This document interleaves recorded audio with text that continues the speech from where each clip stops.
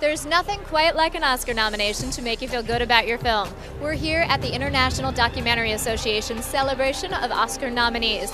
We'll be talking to some filmmakers to see just how they're feeling about those little golden statues.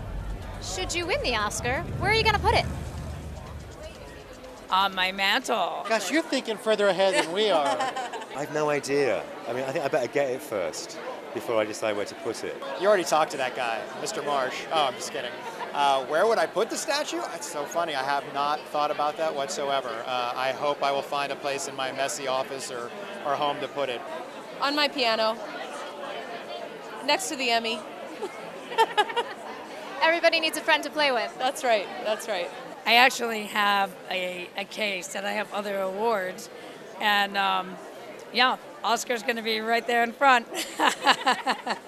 Steven's going to be taking home the Oscar, and I heard that he put he, he keeps them on top of his refrigerator. Where would you keep it? No, I would not accept one. I would need three, so I'd be able to leave the stage juggling. but first, I have to take Oscar on a trip.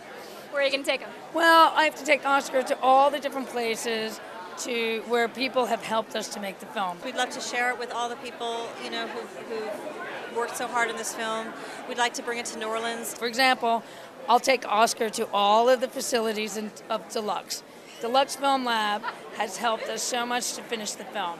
So I'll take Oscar to Toronto, I'll take Oscar into the office in New York, I'll take Oscar into the lab at Deluxe here in, in California, in Hollywood.